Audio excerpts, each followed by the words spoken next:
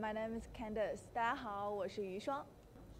嗯，这一次来到洲际赛呢，我的主要工作就是访问获胜的 LPL 的队伍。虽然说第一天访问了两支队伍，但是第二天可能成绩并不是很理想。那今天呢是半决赛，也希望能够访问到很多我们 LPL 的选手。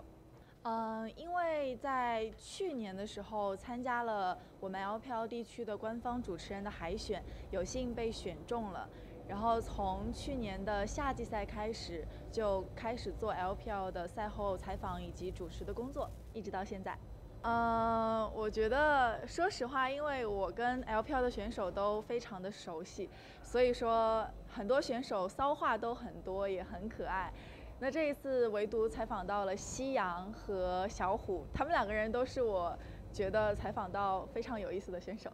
嗯，我其实，在去年 S 六在美国的时候，就有作为前方的记者，呃，进行赛后的采访，但是没有进入官方的流，而是会有一些赛后的小节目，然后也有采访到很多 LCK 以及欧美，呃，LCS 欧洲和北美的一些选手，包括我们 LPL 的选手。然后这一次来到洲际赛，其实感触也蛮深的，因为能够跟三个赛区的选手见面，然后看到他们一起来打比赛，还是很兴奋的。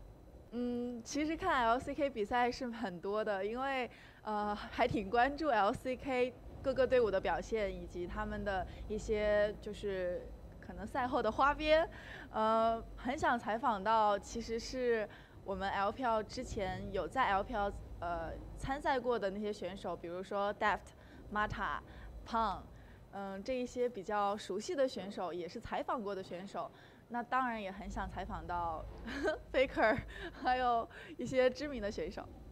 嗯，前前前天在休息室的时候有看到严尚恩，我知道她是 LCK 新晋的女主持，然后她用非常流利的中文跟我打了招呼，然后大家聊了聊天。而且我第一天穿的那件衣服是她在呃好像是韩国的百科上面的一件。一样的衣服，然后都是 Zara 买的，所以觉得可能惺惺相惜吧，觉得很开心。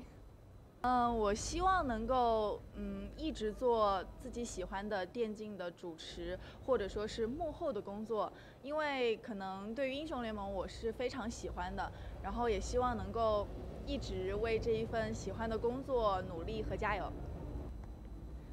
嗯，我也不知道该说什么，但是。嗯，希望 LCK 的粉丝和观众能够喜欢我们 LPL 的选手，以及喜欢余霜。谢谢大家的支持，谢谢。